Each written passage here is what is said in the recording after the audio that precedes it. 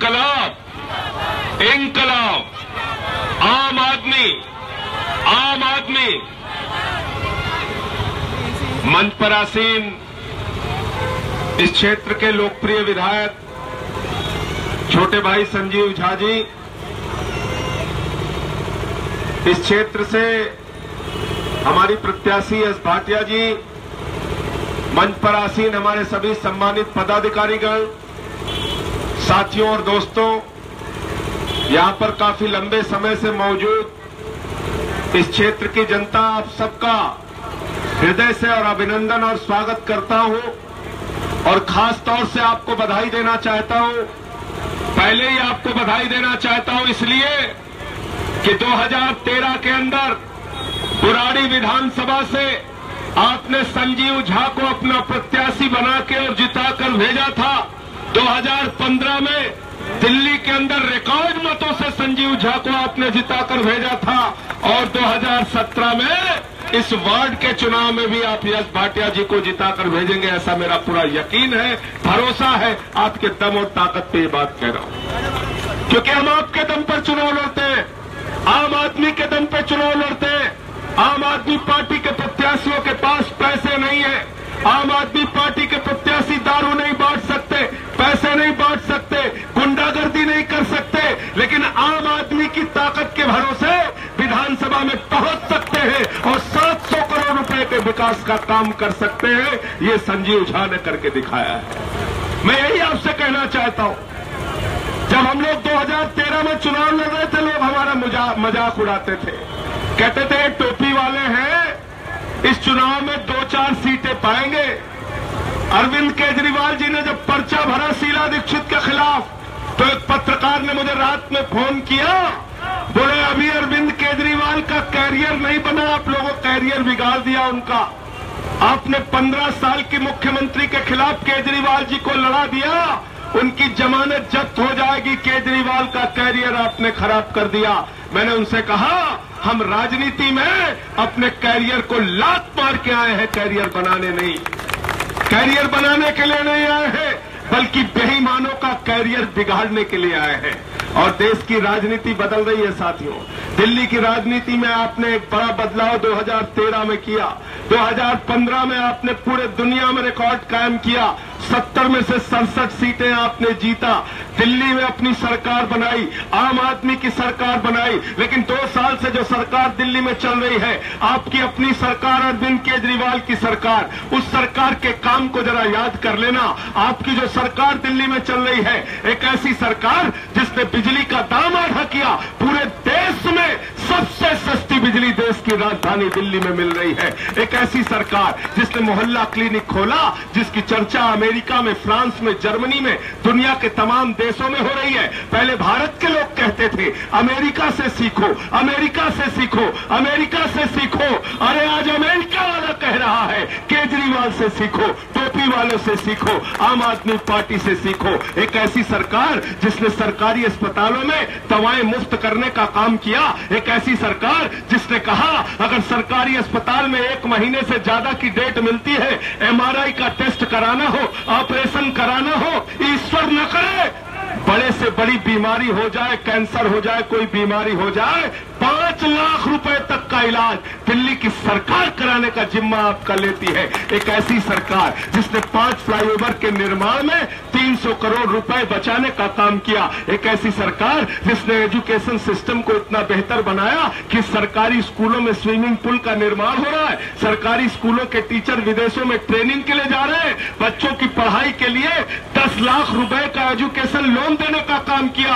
आज private school से नाम कटवाकर माँ बाप अपने बच्चों का दाखिला सरकारी स्कूलों में करवा रहे हैं। एक ऐसी सरकार जिसने एक बार नहीं, दो बार नहीं तीन तीन बार अपना बजट पेश किया, लेकिन एक भी सामान पर, एक भी रुपए का टैक्स बढ़ाना तो दूर, पच्चीस सामानों पर टैक्स घटाने का काम किया। एक ऐसी सरकार जो बुज़ुर्गों का ख्याल रखती है, उनका पेंशन दुगना करती है। विधवाओं का ख्याल रखती है, उनका पेंशन दुगना करती है, विकलांगों का पेंशन दुगना करती है। और दिल्ली में ट्रांसपोर्ट के अंदर हमने फैसला लिया है। ढाई सौ रुपए में माताओं बहनों के लिए, बुज़ुर्गों के लिए पूरे दिल्ली में बस में घूमने का पास फ्री करने का काम हमने किया।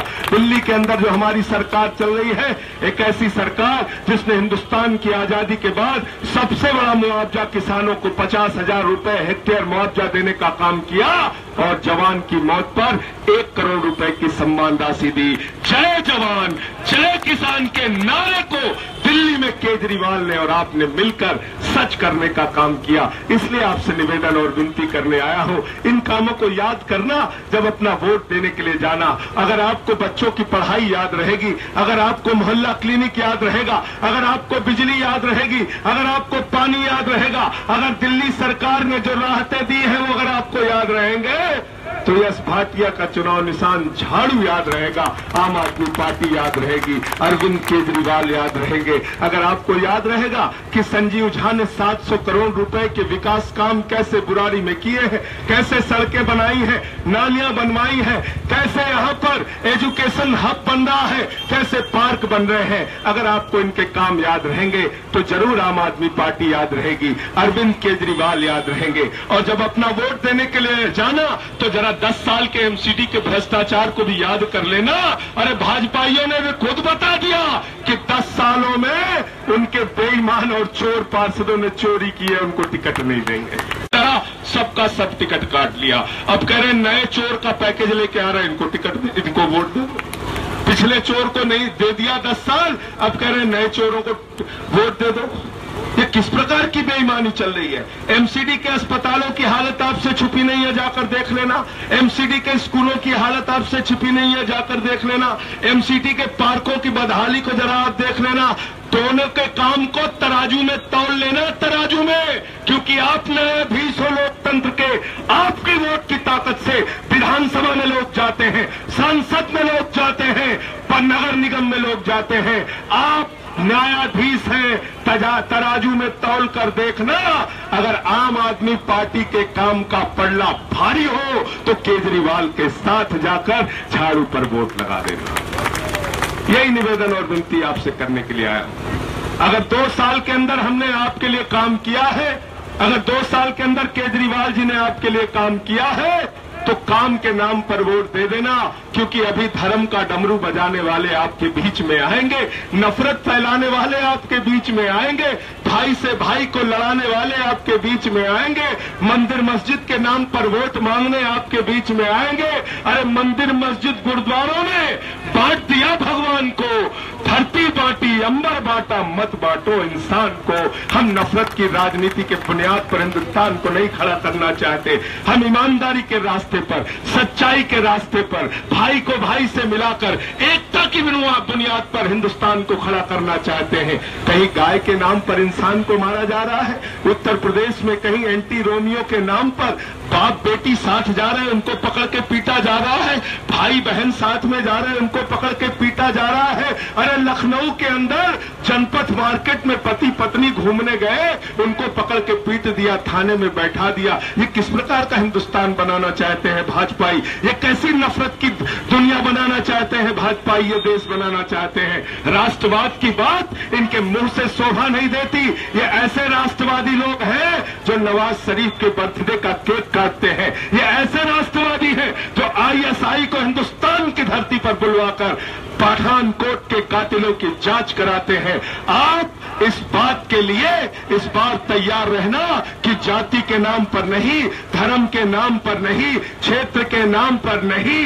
वो कहते हैं, मारो, काटो, लोगों को बर्बाद करो और हम कहते हैं बेघर, बेदर लोगों को आबाद करो। हम लोगों की भलाई के नाम पर वोट मांगेंगे और वो लोगों को बांटने के नाम पर वोट मांगेंगे। जीत किसकी होगी ये आपको तय करना है। जीत किसकी होगी आपको तय करना है क्योंकि लोकतंत्र के मालिक आप हैं। आपने जिसकी चाहे सत्ता बना दी, जिसको चाह खाक में मिला दिया, जिसको चाह आसमान पे पहुँचा दिया, जिसको चाहा मिट्टी में मिला दिया। इसलिए जब अपना वोट देने के लिए जाइएगा तो बहुत सोच समझ के अपने वोट का इस्तेमाल कीजिएगा।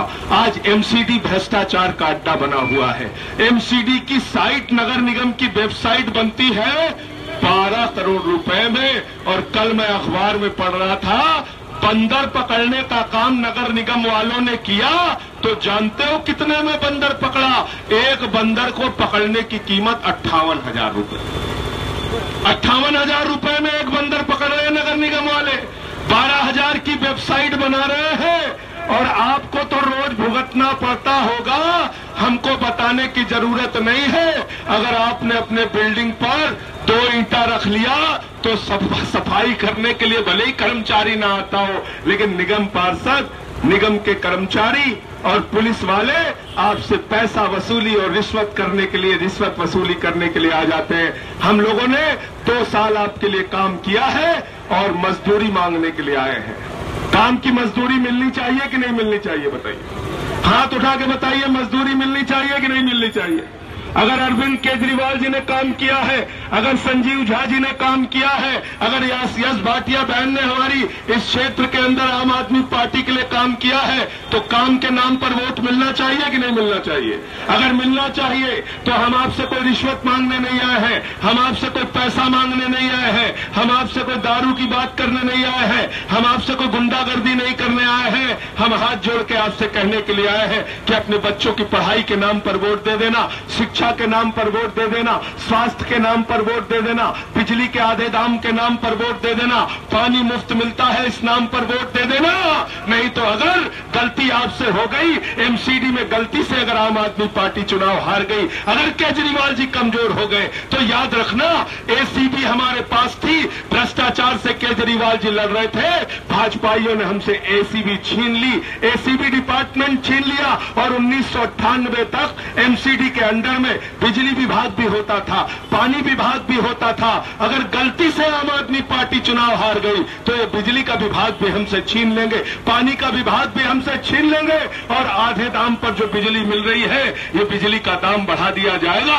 ये जो मुफ़्त पानी मिल रहा है, ये पानी मुफ़्त का खत्म करके इसको पानी का दाम आपसे वसूला जाएगा। इसलिए इस बार हाथ में झाड़ू लेकर दिल्ली में झाड़ू चलाओ एमसीडी में झाड़ू चलाओ और दिल्ली से गंदगी भगाओ ये संकल्प आपको लेना है। ये संकल्प आपको लेना है। दिल्ली से गंदगी को दूर करने का संकल्प आप सबको लेना है।